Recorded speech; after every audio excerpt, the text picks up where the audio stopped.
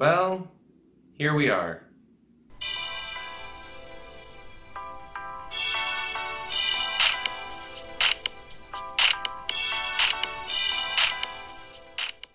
Ouija, Origin of Evil. And before you even ask, no, I did not see the first one. I had no interest in seeing the first one. I had no interest in seeing this one. I saw the trailers for the first one when it came out and it looked horrible. I saw the trailers for this movie when it just came out and it looked horrible. But little did I know that this movie was directed by Mike Flanagan, who also directed Oculus and Hush, two very well made, underrated horror movies.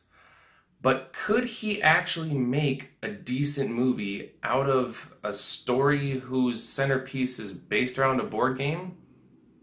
Well, yes, actually. The movie is set in the 60s and we're introduced to a family of females. There's the mother, played by Elizabeth Reaser, the older daughter, played by Annalise Basso, and the young daughter, played by Lulu Wilson. I love that name. Don't ever change it. The husband slash father is deceased, and the ladies are kind of sort of having a tough go of things. So we also see how the family scams people by making them think that they can connect with deceased loved ones. And I say scams, but it's kind of up for interpretation. The mother explains in the movie how she thinks that they're actually performing a good service, giving people a chance to say goodbye. They're allowing them to connect with people that they've lost, and it gives them a chance to let go. So, scams? They scam people? One day, the mother brings home a Ouija board to help with her job, kind of spice things up. Now, the game has rules that you're supposed to follow, and almost immediately she breaks those rules. And it's the young daughter who has to suffer and the movie changes gears. It goes from family drama to a possession film and it just gets creepier by the minute. This movie does have a lot going in its favor. Mike flanagan does a good job of keeping us invested in these characters. We do feel for them and their struggles he also does a good job of not relying on jump scares yes this movie does have jump scares but the creepier parts of the film are the things that are either right on screen and in your face, or those moments where you just catch a glimpse of something. It might be like off on one side of the screen, maybe just out of frame, or it's there one second and it's gone the next. And the tone throughout the film keeps you on edge and just keeps you waiting for that next moment of terror. And everybody in this movie does a pretty good job, especially young Lulu. In my opinion, she's quite possibly the scariest child to ever appear in a film, and I mean that. Move over, Damien.